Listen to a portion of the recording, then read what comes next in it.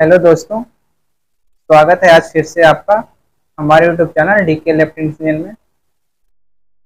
दोस्तों, आज हम बात करेंगे यूरिक एसिड के बारे में। यूरिक एसिड क्या होता है?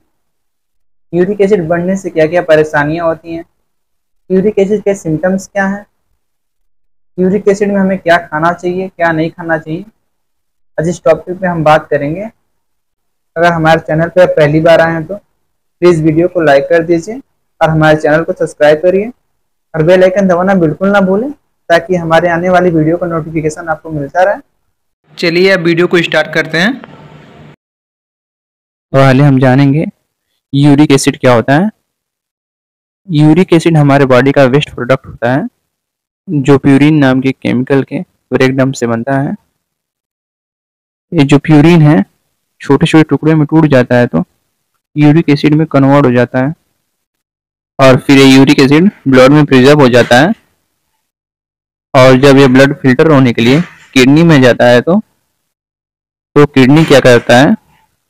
ये यूरिक एसिड को ब्लड से फ़िल्टर कर देता है। जितना आवश्यकता होता है, उतना रख लेता है। बाकी यूरिन के थ्रू बाहर कर देता है। यूरिक एसिड को हमारा किडनी यूरिक एसिड क्या होता है? जब ज़्यादा मात्रा में हमारे बॉडी में हो जाएगा तो तो यूरिक एसिड यूरिक क्रिस्टल में कन्वर्ट हो जाता है, जो हमारे बॉडी के ज्वाइंट में डिपॉजिट हो जाएगा। या फिर क्या होता है कि क्रिस्टल के रूप में किडनी में डिपॉजिट हो जाएगा, जिससे किडनी स्टोन होने के चांसेस होते हैं। ये सब सारे साइंस सिम्टम्स हैं। अब हम जानेंगे यूरिक एसिड बढ़ने के क्या क्या लक्षण होते हैं। यूरिक एसिड बढ़ता है तो क्या क्या दिक्कतें होती हैं तब हमें टेस्ट कराना चाहिए। पैरों और हाथ की उंगलियों में चुभन वाला दर्द हो रहा हो, या फिर एड़ियों और घुटनों में दर्द हो रहा हो, या फिर चलने में तकलीफ़ हो रही हो, या फिर पैर के ज्वाइंट में स्वेलिंग आना। सब सारे सैंड सिम्टम्स होते हैं इसके, जिससे हमें पता लगता है कि हमारा यूरिक एसिड बढ़ा हुआ है।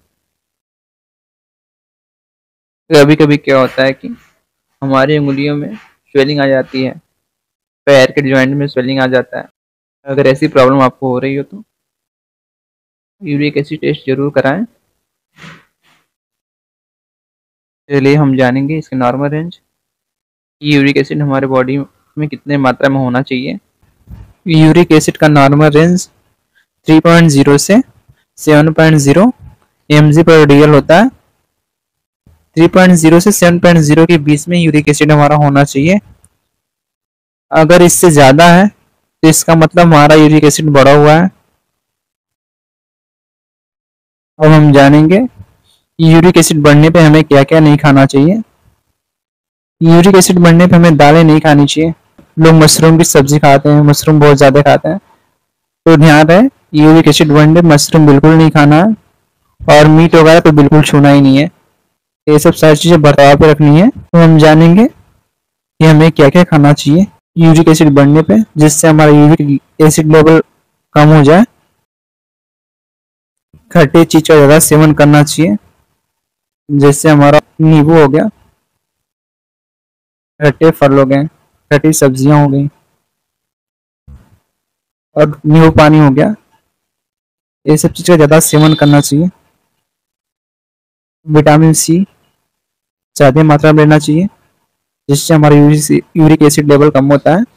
ज़्यादा से ज़्यादा हमें पानी पीना चाहिए जिससे यूरिन के रास्ते यूरिक एसिड हमारा आ जाता है।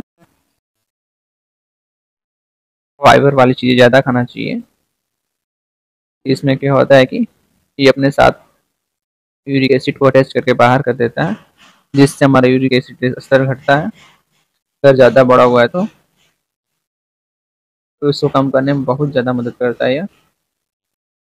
अगर ये वीडियो आपको पसंद आई हो तो प्लीज़ लाइक कीजिए सब्सक्राइब कीजिए शेयर कीजिए और प्यारा सा कमेंट करके बताइए कैसे लगे हमारी वीडियो आपको। Thank you